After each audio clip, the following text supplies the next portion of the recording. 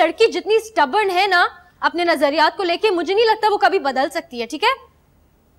I can't believe this मामा ऐसे कैसे मान सकती हैं?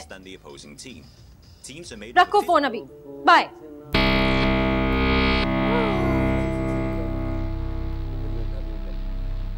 तो हमारी सास साहिबा भी मान गई हाँ? निमरा तो यही कह रही है।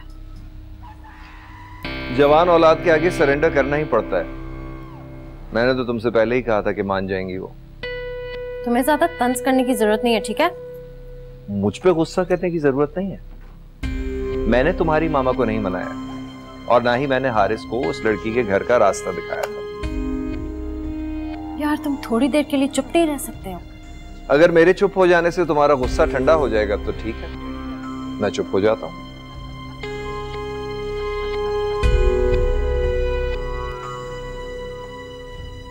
बहुत मज़ा आ रहा है ना तुम्हें मेरी हालत देख के? देखो जान ये टेंशन छोड़ो और चिल करो।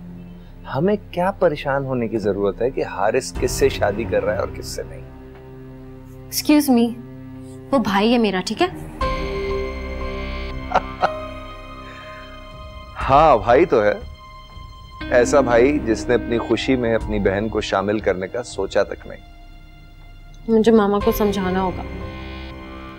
हारिस की वक्ती नाराज़गी आयशा को सारी उम्र झेलने से बेहतर है। चाबी दो। मेरे पास चाबी नहीं। तो कहाँ है? तुम्हें तो कभी चाबी मिलती नहीं है। तुम भी शादी की तैयारी कर रही हो। मैं तो सोच भी नहीं सकती थी कि आप लोग हारिस की जिद के आगे हथियार डाल देंगे। ये कोई जंग नहीं है किंजी जो हम हथियार डाल देंगे। बस उसकी खुशी में मजबूरन मान गए। और तुम भी। अब जब फैसला हो ही गया है तो मैं एहतजाज करके क्या करूँगी? मामा आप क्यों नहीं समझ रही? वो लड़की सबका जीना जीरण कर देगी। तब की तब देखेंगे। मेरी इस घर में अहमियत ही क्या है कि मैं आपके साथ किसी भी प्लानिंग का हिस्सा बन सकूँ? ऐसा मत कहो किंजी पहले तो आप लोग मुझे बताए बगैर डेट फिक्स करा। फिर आप लोगों ने हारिस की जिद को बखुशी तस्लीम कर लिया। और ये सोचा भी नहीं कि मेरी मेरे ससुराल में कितनी इंसल्ट होगी। अब तुम्हारे ससुराल वालों को क्या मसला है इससे? जब तुम्हारी शादी होगी ना तब मैं तुमसे पूछूँगी। अरे वाह किंजा बेटी आई हाय पापा। भाई मुझे यकीन था हमारी बेटी ज़्यादा देर हमसे नाराज़ नहीं रह सकती। पापा मैं बहुत सख्त नाराज़ हूँ। आयशा और हारिस का कोई मैच नहीं है और ये बात उसे कोई समझाने की कोशिश भी नहीं कर रहा है यहाँ पे। बेटा डोंट माइंड माय कमेंट्स लेकिन सच ये है कि तुम्हारा और मजहर का भी कोई मैच नहीं था। लेकिन तुम्हारी ख्वाहिश और तुम्हारी जिद की वजह से हम मान गए थे। अब बोलो ना बोलती क्यों बंद हो गई तुम्हारी? तुम चुप करो। किंजा फजूल की जिद छोड़ो और अपना मुँह ठीक कर।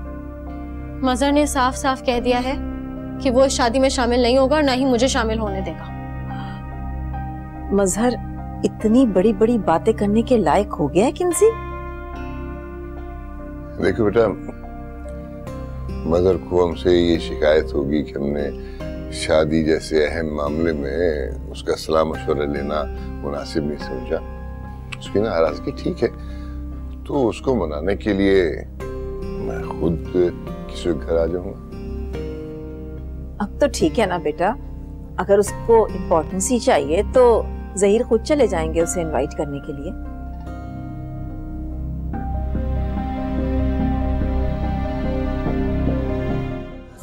करे दिल कभी दिल ना टूटे प्यार में।